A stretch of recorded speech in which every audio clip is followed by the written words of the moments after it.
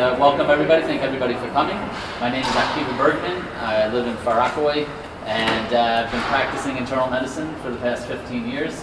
I start my day rounding every day in the ICU, in the ventilator unit, uh, run a very large internal medicine practice, and deal almost on a daily basis with questions that come up, both medical and social, with uh, families dealing with uh, elderly parents, elderly family. Uh, my uh, the, the, the biggest uh, comment that I have in my mind is that uh, in addition to being a physician, I've been a proud parent in Yeshiva Darchei Torah for 15 years now, and at every event in Yeshiva Darchei Torah from first grade, pre-1A, straight through, the Rosh Yeshiva Rabbi Bender uh, has one comment, one mantra that all of us uh, know and it's a uh, exhortation to the older generation to involve themselves with the younger generation. And Rabbi Bender makes the point that when he was younger, and uh, many of you sitting here were younger, there was no such thing as a great grandparent, and many did not have grandparents at all. My parents did not have grandparents. And when I first heard this from Rabbi Bender, I myself was uh, in my young 20s. My parents were in their 50s, and my grandparents were just around 70. Now, hearing this uh, many years later, I Baruch Hashem, I have a 95 year old grandmother. My parents are both over 70, and there's now a uh, concept of even a great great grandparent that is becoming more and more in style. And uh, with that, and uh, the large numbers of the older generation of grandparents, great grandparents, great grandparents, just makes this issue much more prevalent and much more common than it was even 10 years ago the questions themselves are very, very, very sensitive.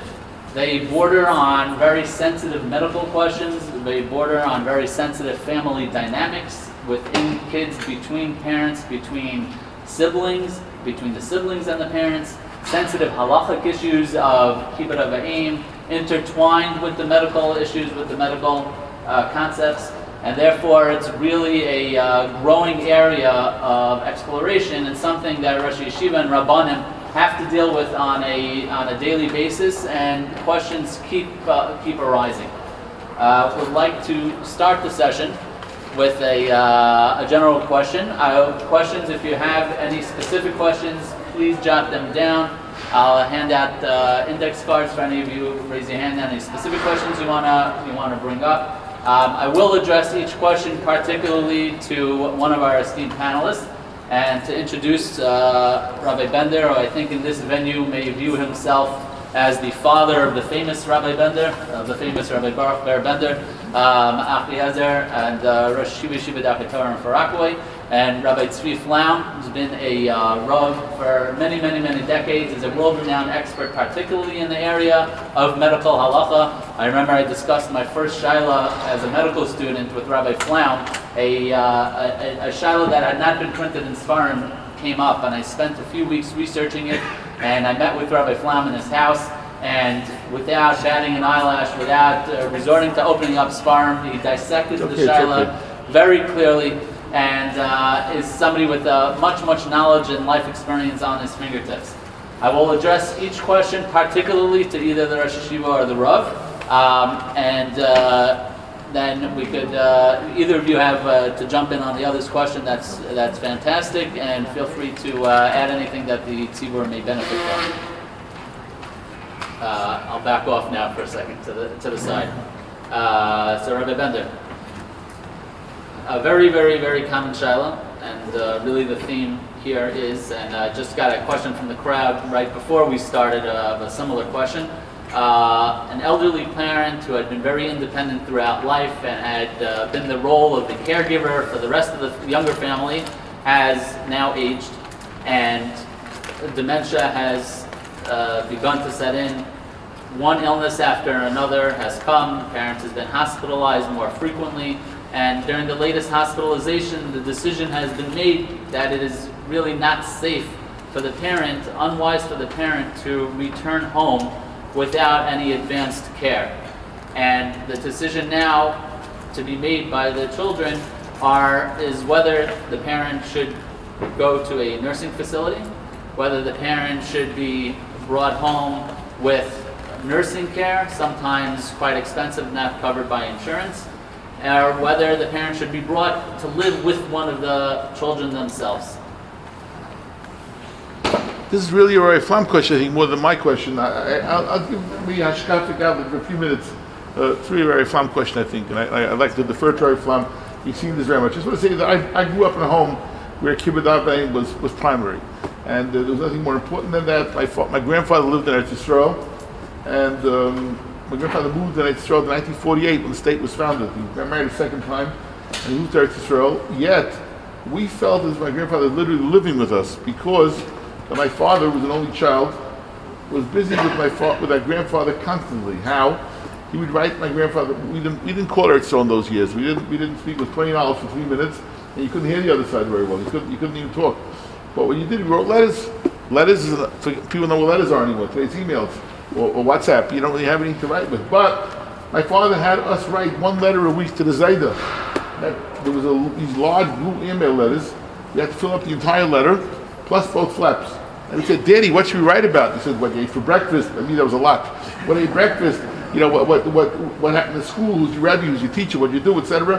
And he trained us. To, my grandfather came twice 1956 1961 until my father passed away in 1965.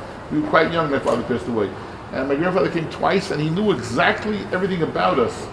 For example, um, if I ever got a good report card, once in a while, so we had to return report cards those days. Today you get a, you get a, in the computer, they send you one You didn't bring it in, you got penalized. My father was the principal, and he got penalized. If I got a good report card, all kidding aside, he'd send us straight there to Israel. And when my grandfather came to live with us for eight years after my father passed away, you should know that um, he brought along all those report cards. We didn't own a camera. Photographer would come to the house, and he'd come with this, this tripod, a, a, box with a black curtain and a, and a, bulb at the end, and he'd send back one photo for us, and that photo was nice, straight there to Israel. So by me, I treasured always the fact that I had one grandfather, as Dr. Bergman, thank you for your kind words by the way, we said before, but lack, lack of grandparents, I had one grandfather, and I treasured that relationship with him. Chovos HaLevavos once said, Chovos HaLevavos is one of the most important work of ethics. He says the following, in the Shaar HaBechina school. uh, he says the following, he says, it's a question, why is it that we love children? Babies, we love them. What, what do kids do all day long? You know, they cry, they scream, they yell, they want food immediately, they're spoiled, they're getting it from their mother like that for nine months straight, and they want it right away. They, excuse me, they, they, they dirty their diapers, and, and we love them. They're cute and they're adorable. My mother used to say on the dirty diapers, perfume. It's wonderful. Yeah, not always perfume, but okay. You know, perfume. You have elderly people who have helped us their entire lives and taken care of us their entire lives. It's hard to take care of them. That's why facilities, very fond, we'll speak about it, I think are extremely important to facilities. I, I, have not seen that people are able to take care of their person that you mentioned before, the example that you used before, I have not seen really uh, um, tremendous success with that. Many people cannot handle it at home. Again, like I said, Rav will speak about it. But why is it we don't take care of the elderly? We don't want to take care of the elderly. We can't diaper them. We can't take care of them. Why is it? What's the reason for that? He answered a very fascinating answer. He said, if children, HaKadosh Baruch Hu, Hashem gave a certain chain and charm to kids. If he hadn't, we, we, we, we would not want to take care of children. And the elderly, he says, the opposite. Hashem, whatever the reason it goes into, had to make it that way. But the point is, elderly should be our number one priority. I want to leave you one story I heard many years ago. If it's true or not, I don't know, but I like to say it over anyways. There was once a gentleman, by the way, we also living, I prepared that shkafi thing to say about, so very, very briefly, it's a very difficult time in the hospitals today in some places. I think the Obama administration set a new pattern, a new tone. They're really 75 years old is enough to live. And, and you're 75 already, you know, you had a good life, move on. And they had an effect, I think, on the American society at large, that when you get too old, you know, forget about it. And it's wrong. It's wrong because we're going to be old one day. And we want people to take care of us. Hopefully we'll take care of ourselves. You want that. So I once tell a story as a child. May I heard it from my father could be because he was so strong in helping the elderly. Um, that there was once a fellow that um, he, he, had an old mother, dementia, Alzheimer's, very bad shape, and he had a little girl at home, an eight-year-old girl, and he packed her into a box. And he said, let's go for a ride the little girl. He said, Daddy, what are you doing with grandma? She said, don't worry, she doesn't, she doesn't feel anything. It's good for her. And he put her into a box and a big trunk. and he schleps the trunk into his car, and he's off the way, and this girl's screaming, what are you doing to grandma? Grandma's in the box. Don't worry. He drives up to a bridge, and, and he says, you know, grandma's suffering. You see what goes on in the house. You know what goes on. We can't take care of her, and, and it's impossible. She knows nothing what's going on, so the best thing would be to throw her over. That'll be the end of the story. Why should she suffer like that? We're having a very hard time. That's one thing, but she's suffering, having a very, very hard time. The girl says, but it's grandma. You can't do that to grandma. He said, but you say, grandma is suffering. We can't let it go on. So finally the girl stops. She says, you know what, daddy? Do me a favor. You want to throw her over, throw her over. But leave the box for me. And, and daddy says, why? It's much nicer. And you say Yiddish, but covered it. He says, no, but I want to keep the box for you, daddy. Mm-hmm. And, and This is a true story? this I heard of my father many, many, many years ago. If it's true or not, I don't know. But you know what? Let's say it's true. Kids like to. Is it true? It's true. That's the way some of we treat our elderly, and I think it's important to treat our elderly. But let's consider ourselves in that spot. So I think that that's what we have to look at today. If we can help our elderly, if we can help our parents, it's critical. I, I'm very proud that my wife was sitting in the back um, where she took care of her elderly parents. Up. My mother-in-law lived with us, and it wasn't easy at all times. She really, my wife, I must say, the last five, six years of my in-law's life didn't go anywhere. She went nowhere. But you know what? My children grew up in a home where they saw how my wife was treating my in-laws. The, the midos that my children developed, my young kids developed in those years, when they observed how she was taking care of her parents, makes them into better people. It's a win-win-win situation. There are times, obviously, I encourage that very much, we have to put a person into a home, but go visit them. I used to visit an old, and this is, I'm, I'm finishing with that now. Um, I used to visit an old aunt of mine, an old uncle of mine in a nursing home. So my wife and I and the kids would go every Friday to visit them. I can't begin to, I'm sorry Mr. Friedman can tell you more stories. I can't begin to tell you, we made friends. I went for four years every Erev Shabbos to visit. So we decided not only will we visit my uncle and aunt, we'll visit other people. I cannot begin to tell you how many people told us, maybe we see our children twice a year. Thanksgiving, Christmas maybe. It was Mother's Day, of course. It's unfair. So there are times for everything, as Ray will speak about now. There's times for everything, but I think we have to take care of our, be it at home or wherever it might be, let's take care of them. Okay. following and uh, a little bit of the I, I will Mahalach, not answer that long in the future. That was just a shkafim, so, okay. following a little bit in the Mahalach, my dear colleague, Rabbi Bender, I just want to put a little perspective over here because I think we jumped into it, but I want to give us a little structure. What is interesting to note, and people sometimes don't realize this, is that when the Rambam formulated in his Mishneh Torah in his Sefer of Halacha, and Hilchos Ram of the Halachas of Kibbut of Aim, he prefaced it with a very important Hashkafis Chazal.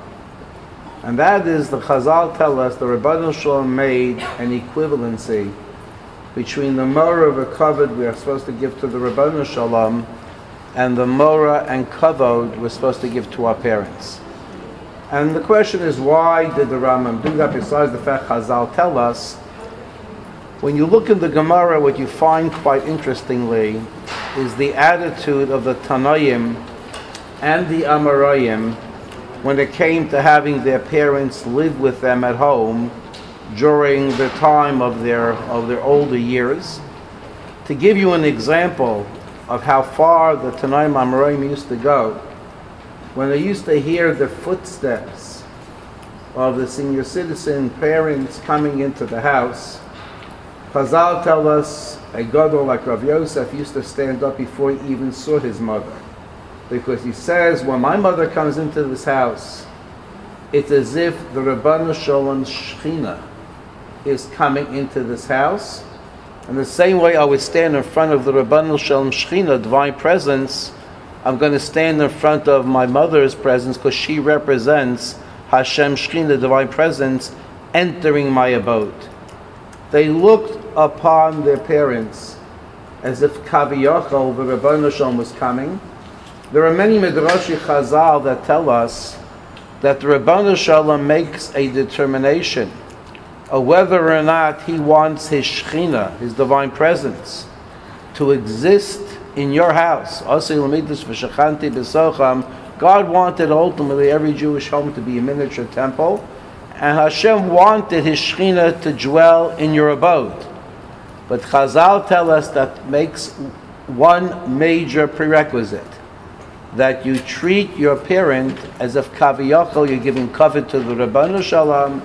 If the Ribbono Shel Olam sees you giving kavod to your parents, especially your elderly parents, Hashem says, This is the abode I want to dwell in. And if Chas v'shalom, the Gemara says people are not showing the proper kavod and respect to the grandparents or to the senior citizens in the home, they show disrespect and disdain or disregard. But Ribbono Shel Olam says, I want nothing to do with this type of Jewish household. This is not the miniature temple I wanted to be created. And literally, he takes away his divine presence from that specific location. From that mind of Chazal alone, you could obviously already see intuitively, Chazal looked upon the presence, therefore, of an, a senior citizen parent in the house as a special manifestation God's divine presence. After all, we're all created B'Tselem Elokim, and a grandparent who's been around a long time has shown the positive things, spiritually and otherwise. You can do with that Tselem Elokim, but that the Panei Zakin is one of the mitzvahs we have in the Torah, to give them cover not only for their knowledge, but for their life experience and all the stuff that they've done during their lifetime. And therefore, the Ribbono Shel Olam expects us to give them the same kavod when it comes to our dealings with them. That's number one. Number two, what is quite interesting, and I always found this fascinating, is when the Gemara itself describes the concept of kavod v'mora, which means more means a certain amount of, of awe and respectability you're supposed to give your parents, and then defines right afterwards the mitzvah of giving them kavod, giving them respect. I always thought, before I saw the Gemara, that quite obviously giving them reverence and respect is one thing, and there are many ways of doing it, getting up for them, and quite obviously not sitting in their seat not contradicting them or showing disrespect to them. So showing Mara is a pretty, pretty seichel thing you're able to figure out based upon simple common sense. When it came to kavod, what I find fascinating is the examples given to the Gemara. The Gemara says, what's a manifestation of kavod? Machal, if you have to feed them. Mashka, if you have to give them what to drink. Malbish, if you have to help them get dressed. Motzi, be able to take them in and take them out physically, help them maneuver themselves. The Gemara gives that as examples of what kavod is. Now, in that context, the kavod is not just showing respect for a parent, but if you think about it for a couple of minutes, what it demonstrates is maintaining the self respect of a parent that their own children, who they gave their life for, who they brought up, who whatever they did, I always say to people, you don't realize what kibbut ava means until you get married and have your own children. And when you start realizing what you do as a parent for your child, from the diapering and everything else, and losing sleep and etc., all of a sudden, in retrospect, you start saying to yourself, I now realize what my parents did to me. At that time, I was too young to appreciate it. But in retrospect, you start understanding what kavod's all about. By the fact that Chazal formulated kavod in such a context, what it appears is that Chazal expected that when a person has a parent who's an elderly parent, who's incapable of eating and drinking and dressing themselves and moving themselves, that your kibbut of aim number one, your first line of defense, is to either to go to their home and take care of them in their home, and if that's not not a possibility, to surely bring them into your house and take care of all their physical needs and necessities, v'derech kavod, because when the parent gets it from a child, it's a different type of, of, of, of kavod and respect than if a stranger does it. And what the parent sees is that the ultimate concept behind the concept of kibbut avim, Chazal tell us, as the Sefer Chinuch mentions, is the concept of hakaras atov, to show them we appreciate what you did for us, and we are reciprocating that hakaras atov to give you back as much as we possibly can and show respect to you and love for you and appreciation for what you've done to us as a major principle hakaras atov.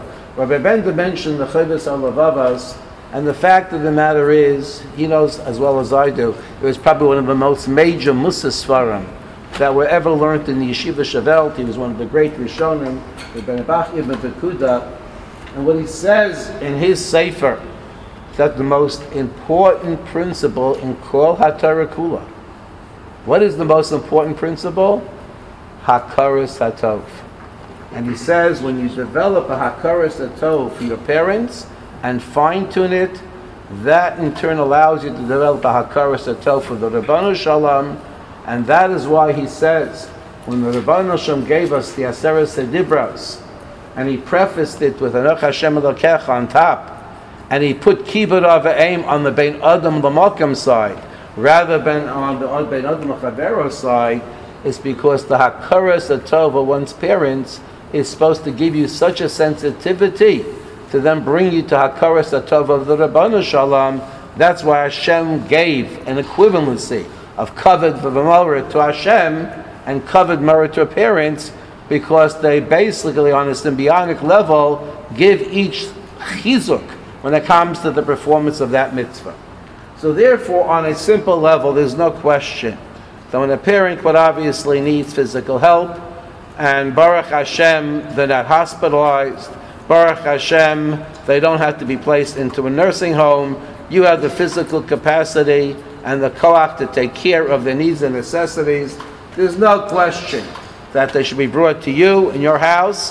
This is your golden opportunity to show them the hakaras that you have for all the years of love and compassion and mesirus nefesh they showed for you. So that's the easy case where they can be taken care of in your home. You have the ability. It's great for you. It's great for the children and grandchildren to be able to see how a child gives cover to their parents, giving a Masorah to your children. What is expected when it comes to parent-child relationships? It's a chinuch education, much more than you can learn in a sefer in the yeshiva. You see it live.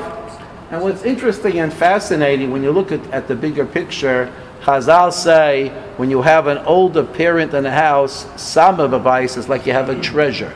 It's like you have an incredible treasure because this person who is the grandparent of the family, the grandmother or the grandfather, the patriarch of the mishpacha, but they have to share not only with the children, with the grandchildren, great grandchildren, of what they did in their lifetime and what they accomplished. You have the ultimate maaseh avos siman labanim. You have the legacy during the lifetime being given over with oral discussions and stories and things like this that the children should know from where you come from. Because Chazal say, if you know where you came from and where you stem from, and the hashkafa of the grandparents and their grandparents, if you know where you're coming from, then you know where you're headed to. It gives you spiritual direction. The big problem, however, arises when the physical capacity of the children at home don't have the technical knowledge or ability to deal with certain types of medical problems which the parent might have. So in that case, you then have the next choice. And the next choice is if you don't have that physical capacity, many times, Baruch Hashem, we have family home services now that have people who have been trained in specialists, whether they're nurses or whatever, or, or people who are medical personalities, that you can hire to come to your house to take care of the medical needs, but at least they're in your house the professional activities that have to be done for them are done by these professionals. They come uh, based upon being sent, and Baruch Hashem, Medicaid, Medicare, all of that stuff takes care of it. My mother Nebuch had fallen down; she broke her ribs. Instead of her having to stay in the hospital, Baruch Hashem, they said, "We can give you that same loving care in the house itself." And there are professionals coming each and every day. Some of them are, therapists, physical therapists, some of them are nurses. Everybody doing their thing, but it's in a family loving setting. You don't have to be in a hospital to have that type of care. And that basically complemented and supplemented by the children being there makes this a very comfortable situation. When it comes to the concept of what happens despite all of this, that you can't, unfortunately speaking, have the ability to take care of your parent in the house because of the level of the sickness that they have and the inability to set up a miniature hospital necessarily in a person's home. And they have to go to a hospital. Or perhaps they have to be not if they're not a hospital in some type of nursing care facility. So when it comes to that specific level the question is how did Chazal deal with it? So in the Shulchan Aruch and Siman Reish Mem in Yoreh De'ah, where you have the halachas of kibbutz of a mentioned very specifically, the Shulchan Aruch says, an example given by the by the by the Gemara, which the Shulchan Aruch quotes, Misha of ve'imo nitra fadaito.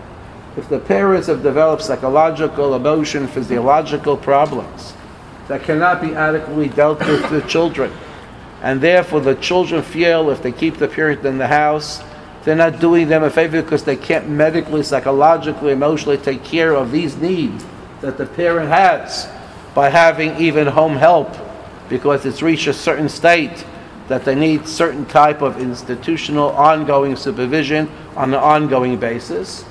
So then you come to the permissibility which the Rambam paskins and which is brought down by Rav Yosef Karo and Machab and Shulchan Aruch and Hilchas Kibbutz Avaim that you're allowed to put the parent in some type of institutional setting, but now you have the million dollar question. And the million dollar question is what facility do you put them in? How do you choose which facility has the best type of facility, has the most loving care, has a proper nursing staff, has a proper medical staff, that you're going to feel that if you're not around, the kavod and the respect and the dignity that your parents supposed to have will take place specifically in that type of facility. One thing is for sure, not all facilities that are called nursing uh, care centers or nursing homes are 100% exactly alike. You got to do your research and development. You got to literally do uh, tremendous analysis by asking other people who've had similar situations where they housed their parents under such circumstances to make sure you're putting them in a bakavadikamakim and a responsible place and not putting them in a place that is simply hefker. I've had, since I was a Rav for many, many years, and I was involved, quite obviously, as a Rav. I'm still involved in Bikur Cholim. Many times the Bikur Cholim means going to nursing homes besides hospitals and visiting patients, visiting people who you're about them, visiting people who quite obviously are there. And I can tell you, no two nursing homes are exactly alike. Baruch Hashem, we have over here in the audience a head of a nursing facility who has multiple parts, who Baruch Hashem, in his facility, I can tell you, there is quality control, there is religiosity, there's spirituality, there's kavod, there's respect, anything you would want when it comes to a paradigm as it relates to the concept of what a nursing facility should be, exists in this specific facility. Gurwin, by the way. Gurwin is the name of the institution. I don't know if you want me to publicize it. Why not? We're If that's gonna, beach. we're gonna, we're gonna publicize it. It might be, Ger- Gurwin is the name. It might be a little far out, but one thing I will tell you, it fits the bill. But one thing I want to forewarn you, not everybody can go there, not everybody is able to go there, but whatever you choose, you have to make sure that this place has a reputation, this place has, has a track record. You have to continually visit. That doesn't exempt you as a child from your coming and giving your parents the support that they need. You have a right to use I can them. add one thing before, before I break, you don't mind, I don't cut you no, off, but. uh, please. Gurwin is Gurwin. We all know they are number one. Really, they really are. Um, I think it's most important to stay on top of the care, and that's in hospitals too. By the way, the more you visit, my mother Shalom was sick for so many years. We came there nights and days, nicely with derech eretz, respectfully, by being there and showing the nurses you care, either in a hospital facility. It changes the entire anhaga of the staff towards your parent. It's critically important and very, very important to let them know that you're there for them at all times, really. I just want to add to what Rabbeinu just said, though, because this is an important factor as well. And that is, you know, in different facilities, people are in different levels of sickness. And quite obviously, people are, are, are invalids. But some people, they get on with age, and quite obviously, they get sicker and sicker. And quite obviously, they need more, more medical help. And unfortunately, people sometimes have a tendency because they want to get something off their mind, and the facility says, do us a favor, give us a medical directive, and maybe even give us a DNR, uh, you know, basically designation. Do not resuscitate. And I'm talking now as a halachist, as a person medically in the field who deals with this 24 7, literally. And I want you to know the following. And I, anybody who's a doctor here, you'll forgive me, but I'm giving reality of what I've seen and what I've experienced. The DNR order is not something you give when you put a person in this facility as a given. Giving a health, uh, we call a living will, or some other type of health proxy, only means that you're designating certain people, mishpacha members, rabbinical personalities or rabbinical organizations that if God forbid something's happening, we're dealing now with God forbid a change of their health, life and death might be imminent. So you have these experts and these people have been designated to make halach medical decisions for you if you're not capable of doing it. So if everybody wants to have a healthcare proxy. That's an important factor because you never know what's going to happen to a person from day to day as you get older. But that does not mean you have to sign a DNR. That surely doesn't mean that you sign a do not treat. Everybody lives and dies in a different type of way. The DNR, do not resuscitate, or stopping a person when it comes halach lamasa, uh, medical treatment at a certain point in time, is a very subjective phenomenon. In the Shulchan Aruch, and it's brought down in Shimon test Yoreh is talking about a person already is a moribund patient, a goses, who's going to die within a couple of days. At that juncture, the phenomenon of a DNR, of what to do when it comes to giving them what Chazal call a Misa Yafeh, comes into halachic existence. Rav Auerbach Zatzal, Rav Elyashiv, based upon the pasuk V'yahavta Reicha Kamocha, paskin that you have to give a person when they die a Misa Yafeh. A Misa means the most respectful but covered death they possibly can, not to mucha them, but to allow nature to take its course at a certain juncture in time. To give a person a DNR and to make these types of the, the decisions when the person is still chayv kayam and has kochas and energies is inappropriate because when the staff sees that that's what you have done, I'm going back to Rabbi Bender, when you basically demonstrate that you've given up and the person is even not even sick yet, what you're really saying to the medical staff is we don't really care that much anymore and therefore they don't give the type of quality care they should be giving. And this I've seen across the board over many, many years of experience. So be very careful when to sign a DNR. Don't do it yourself. You have to ask a Shayla Varav, who's an expert who knows medicine, who knows halacha, who knows exactly when that type of decision can be made. Even when you give a DNR, that does mean that you basically stop treatment because Rav Moshe Feinstein, Rav Auerbach Paskin Talach Lamasa, even though there might not be when a person is in a hospital and deathly ill, and perhaps they're going to die shortly, even though you might stop medical treatment as chemotherapy or radioactive therapy, things like that, because it's no longer medically effective, has, it doesn't have any therapeutic benefit, there's still a concept of biological maintenance to the end, which means you have to give them food and drink even artificially. You have to give them morphine, painkillers, they need oxygen assistance, you have the oxygen assistance. Whatever you can to give them biological maintenance, but they're covered, you have to do to the end. The fact you no longer have to medically treat them with heavy types of medical care, which no longer is effective, is one thing. But to give them the dignity of eating and drinking, even artificially, and pain management, that they should have a Misa Yafeh, that these gadolim require all the way to the end. That's why, and even if a person signs a DNR, emphasize this does not mean do not treat. I mean, and you spell out because there's a special section there where you can tell them exactly what you want to continue, even though if they go into cardiac uh, and respiratory arrest because of the ultimate culmination of the disease, nevertheless you want them treated to the end, whatever is positive and constructive for them. Session is a microcosm of this topic. Uh, we have five minutes left. Uh, and uh, there is uh, worlds uh, to discuss, many questions, excellent questions. Sure, one, one minute per each, question. Each of which, yes. So I'm going to throw out just uh, the few minutes we have left. Uh, has told me that Rabbi Flaum, Rabbi Bender's uh, contact information is available through them. Everybody is encouraged, if you have follow-up questions for one of the panelists, please feel free to reach out to them. But of course, everybody should uh, address each of these questions with your own rabbi, your own uh, consultants within the family.